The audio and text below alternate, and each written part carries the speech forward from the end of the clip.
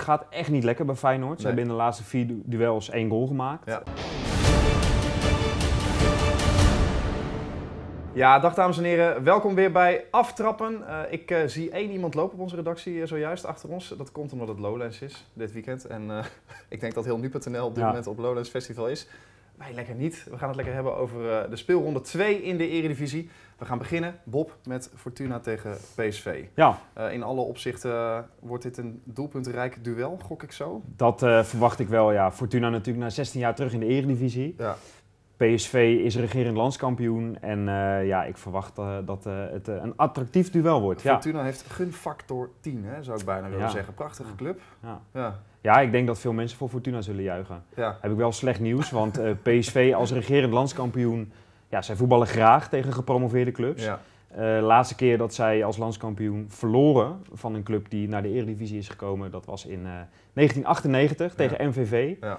En eh, ja, dat werd toen 2-1. Ja, En daarna is het eigenlijk altijd goed gegaan. Af en toe gelijk spelletje. ja. Maar goed, als je hier naar kijkt, dit zijn de grootste uitslagen deze eeuw, dan eh, wordt het een lastig verhaal voor Fortuna. Jongen, jongen, wat een goals ook. Ja, ja. 7-0, 6-0, nou, ja, 5-0, 4-0. Ja. En ook de 0 gehouden. Hè? Dus eh, ja, wat dat betreft eh, wordt het een lastige avond. Ja, eh, is het zo dat wij eh, zo alvast moeten gaan vertellen dat ze uit standaard situaties gaan scoren? Want PSV is echt koning, heer en meester. Ja. 31 keer dit jaar al. Corners, vrije trappen. maar Nou ja. keeper van Fortuna die krijgt een hele slechte dag. Ja, en, en ik denk, ik hoop dat wij het ze niet hoeven te vertellen. Ik eh, hoop dat zij zelf huiswerk hebben gedaan. Maar eh, ja, corners, vrij trappen, wegkoppen die bal en eh, hopen dat je kan counteren. Goed, eh, van het positieve nieuws gaan we. Ja, ik vind het vervelend om, om het te benoemen, maar misschien wel een beetje de negativiteit in. Waarom Feyenoord tegen Excelsior in de Kuip? Ja, nou hebben wij vorige week natuurlijk hier samen ook gestaan. En toen Mhm. hadden we het ook over Feyenoord. Toen was het de eerste wedstrijd in de Eredivisie. En toen zei Bob het volgende. En ze moeten tegen de Graafschap uit, eerste wedstrijd. ja. Noemen we dat een angstgekner? Een beetje een gekke term natuurlijk, maar eh, moeten ze daarvoor Ja. oppassen? nou die wedstrijd is nog niet gewonnen Dat hoor. was een heel kort fragment van vorige week. Eh, die wedstrijd is nog niet gewonnen. Ja, Eh, jij blijkt het gouden ei te hebben. ja nou er was geen woord aan gelogen, Nee. dus dat had ik goed, al zeg Ja. ik het zelf. Ja, ik verwacht dat nu in de Kuip tegen kleine broertje Excelsior dat het toch wel iets anders gaat lopen. ja. Eh, Feyenoord heeft ook wel enigszins de rug gerecht hè, tegen Trentin. ja, maar ze zijn wel uit Europa natuurlijk. Ja, ja, al was dat eh, na de 4-0 eh, in Slowakije verwachten. was dat wel te verwachten. Ja. Maar het voetbal was wat beter. alleen ja, Feyenoord zal moeten gaan scoren. Ehm, als ik nou naar Feyenoord kijk, hè, Mhm. En ook na die wedstrijd van afgelopen donderdagavond, dan hoor je eigenlijk maar één ding en dat is crisis eigenlijk. Ik Ja. snap dat het een makkelijk woord is, maar ondersteun jij dat?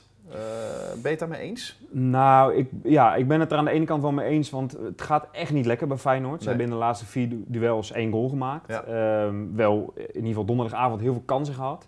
Eh, er is niet echt iemand die opstaat. Nee. En ja, dan komt dat eh, op het bordje van de coach terecht, Is van, terecht? van Bronkhorst. Nou, dat heb ik even uitgezocht en dat is niet terecht, kan ik je vertellen. Nee. Als je namelijk gaat kijken naar zijn voorgangers, en dit zijn cijfers uit deze eeuw, Van Bronckhorst staat gewoon bovenaan. Hij pakt het meeste aantal punten per wedstrijd.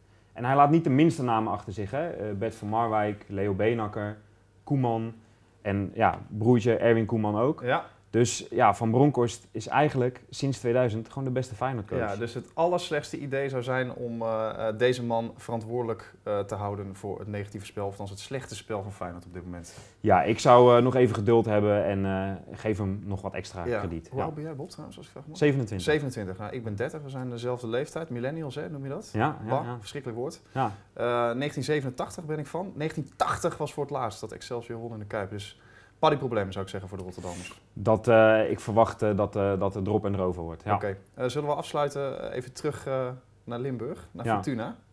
We Ja, zien hem al staan op het ja. scherm. Ja, deze meneer, dit is de laatste keer dat Fortuna won van PSV. Dat was trouwens een historische wedstrijd. Ja. 6-4 werd het. Ja, En dat was in 1999. ja. En eh, ja, deze meneer deed toen eh, mee. Wat een Fortuna. elftal had Fortuna ook hè, destijds. Ja, ja, dat is anders dan nu hoor. Ze hadden eh, nou ja, Van Bommel dus, eh, Wilfred Bouma, Ja. eh, ze hadden Hofland. eh, aan het roer stond eh, Bert van Marwijk. Dus eh, ja, dat was wel een ander Fortuna Sittard. Uh, denk jij, tot slot, dat Mark van Bommel op gaat veren als Fortuna scoort in eigen huis? Per ongeluk? Nou, ik denk dat hij ergens in zijn hart nog wel eh, een plekje voor Fortuna heeft. Maar ja, ja hij is lekker begonnen aan de Eredivisie en ik denk dat hij toch echt wel hoopt dat ze doorpakken. Mooi, dankjewel Bob voor al jouw analyses de afgelopen weken. Volgende week is Riepke Bakker weer terug, dames en heren. Dus gaat dat zien, speel 103. Dag. Dag.